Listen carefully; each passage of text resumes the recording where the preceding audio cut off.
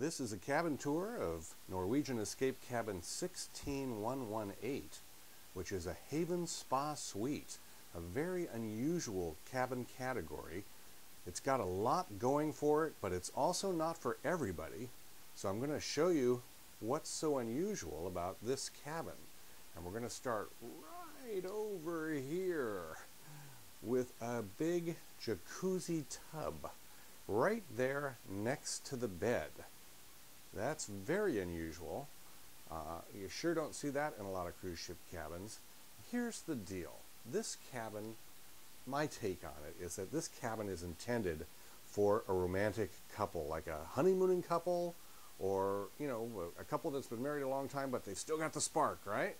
This bed is a real king size bed. It cannot be split into two singles. Uh, so it's definitely designed for people who are going to sleep together, right? We're not all cruise ship cabins are that way. And then with that big uh, jacuzzi tub that can fit two, I think the idea is that you're going to take a bath together, and even the shower is large enough for two also. We'll take a look at it from a different angle here. You can see that jacuzzi tub and the unusual blue lighting effect on the front of it. That can be turned off, and it will go off at night and everything. No problem there. The bed is very, very comfortable. And the colors of the interior decoration of the cabin are very soothing and tasteful, nice earth tones. Uh, it's a, a, really, really nice cabin. But here's the thing, uh, two people only. You know, this is not the cabin if you're bringing your kids along. Uh, or if it's you and your brother or sister, right? Uh, I think it's for a romantic couple. I've got the curtain drawn. Let's uh, stop for a second. I'll undraw the curtain and you'll see the other look that the cabin can have. So I pulled back the curtain now, I'll give you a different look. And what's back there in that area, and I'll show you in more detail in a minute, is uh, two closets, and the bathroom area is there, the entrance and exit out to the hallway, and some additional storage, including a safe. Then over to the right, the desk area, makeup mirror. Uh, there's some storage underneath the desk. There's a refrigerator there, and something that is really unusual. Not only do you have a very large TV on the wall there, but also you have access to about a hundred movies on demand at no additional charge. Uh, those movies are available at an additional charge to most of the uh, 4,800 passengers on the ship, but they're available at no additional charge to passengers in Haven cabins like this one. Looking over in the other corner here, uh, you can see there's the doorway out to the balcony and there's two chairs out there on the balcony. And then uh, in the corner itself, there is a small round table with two chairs. This is a little different than it was on the Norwegian Getaway and Breakaway. We were on the Getaway about a year and a half ago, and in that corner there was a little day bed. I like this better to have the little table and two chairs. I've set up my laptop computer there. That's my little spot to get on and off the internet or work on uh, pictures that I've shot during the cruise, that kind of thing.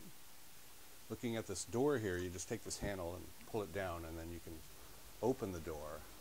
And the thing that I like about this type of sliding door, I don't know if you've ever been on a Carnival cruise, but they use a different style of door, not a sliding door on Carnival. And you are constantly hearing your neighbor's patio doors slam shut do not have that problem here on the Norwegian Escape because the doors slide rather than slam closed.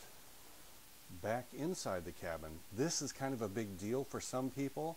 It's the coffee maker in the room. It's a Nespresso brand. And so you can make coffee or tea. They have the little pods here for you. And uh, these are cool. These are tea bags. Oh gosh, I don't even know how to open the thing. Here we go. And this thing is, is stiff so that when you hang it over the side of a teacup, it keeps it from falling in. Is that the greatest idea or what?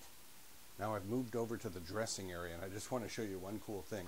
When you open these closet doors, the light comes on inside and then when you close it, the light inside will go off. Very thoughtful. There's a similar thing going with the safe. When you open the safe, there's a light inside that comes on, makes it very easy to see what you've got in the safe. Not all cruise ship cabin safes are that way. A lot of cruise ships we've been on, it's really hard to tell with the black interior and everything whether you've got everything out of the safe or not. Not a problem here in the uh, Haven. I don't know if the safes in all the Norwegian escape rooms are that way, but this one definitely is. Now on Carnival, if you want to indicate that you don't want to be disturbed, you take a cruisin' snoozin' sign and hang it outside in the hallway on the doorknob. But that's problematic because the wind in the hallway sometimes blows those things around and they can get messed up. Uh, they have a much better setup here in the Norwegian Escape. You have two switches right here, do not disturb and make up stateroom, and you can switch those to, indicate you know, your status, uh, and a light comes on in the hallway to let them know. This is the control for the air conditioning. It works really good.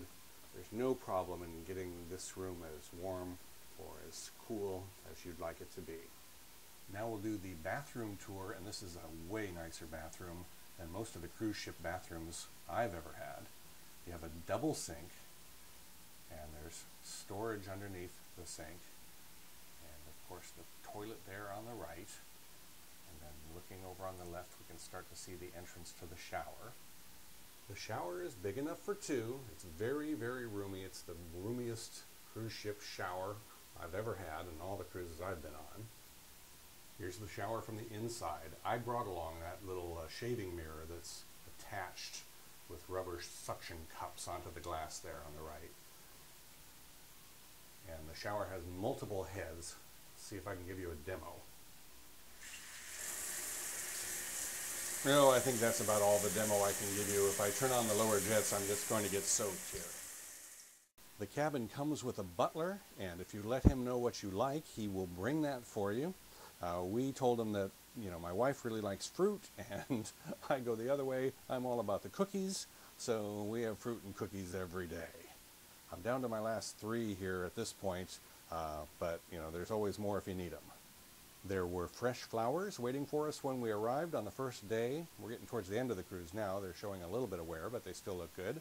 And there was also a bottle of champagne on ice for us when we arrived. And one of the best things about staying in a Haven Spa Suite is that it gives you full access at no additional charge to the thermal suite within the spa, including the jacuzzi, the big warm therapy pool, the sauna, the steam room, the snow room, the salt room, and all that good stuff. And that's the tour of cabin 16118, one of about a dozen Haven Spa Suites on board the Norwegian Escape. We had a Haven Spa Suite on the Norwegian Getaway about a year and a half ago, and we loved that. And we love this even more because of a few small improvements that they made.